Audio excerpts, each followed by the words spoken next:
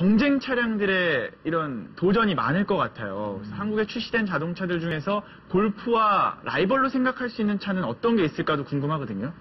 어, 최근 소비자들이 가장 중점적으로 보는 해치백 중에 하나가 최근에 출시한 벤츠 A 클래스입니다. 그렇지. 예, 골프와는 경쟁 상대가 되겠죠. 네.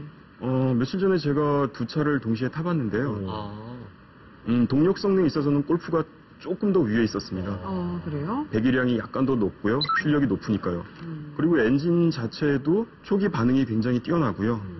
출력 자체를 A 클래스보다 조금 더 길게 끌고 나가는 볼 수- 모습을 볼 수 있었습니다. 음. 석 기자님은 라이벌을 어떤 차라고 생각하시는 거예요? 어, 일단 뭐 동급 그 차들이 아주 많은데요. 해치백들은 대부분 뭐 경쟁 모델이라고 할 수 있죠. 이제 국내에서 보면 뭐 i30 같은 차들이 예, 골프를 겨냥해서 나온 차고요.